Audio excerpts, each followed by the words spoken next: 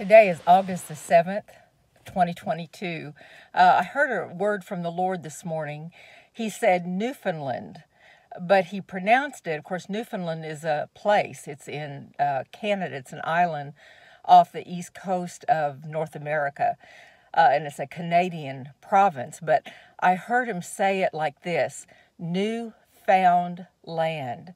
And I knew that he was referring to part of the uh, the inheritance that we as his children uh, are going to be inheriting.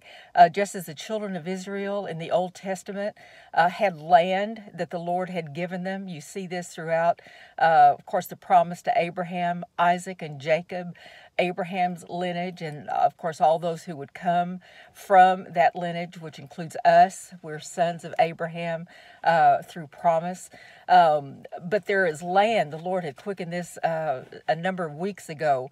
Uh, that part of our inheritance, part of the wealth transfer uh, that we're to expect is land. Just as each tribe in the Old Testament, the Old Covenant, was given land, and God Himself set the boundaries. Uh, of course, we see this in modern day Israel and uh, the land surrounding even what's not even officially recognized in Israel. Uh, but those are ancient lands, and God Himself set the boundaries.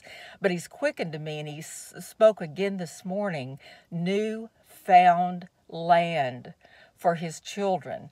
Um, Joshua 24, in reviewing uh, the whole book of Joshua, which I encourage you to read, says, from the, the, the Lord, I gave you a land on which you had not labored, and cities which you had not built. You are eating of vineyards and olive groves which you did not plant.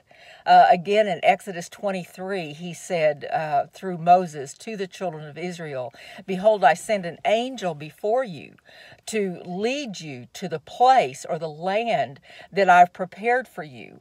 I'll remove the enemies, uh, you know, obey my commandments. I'm paraphrasing, obviously. Uh, do as I, I command, uh, and I will bless you. But there is a land, there's a place that has been prepared for us. So part of, of the wealth transfer includes land that has been designated and set apart for you and your descendants, you and your seed are to inherit. So thank the Lord for new found land.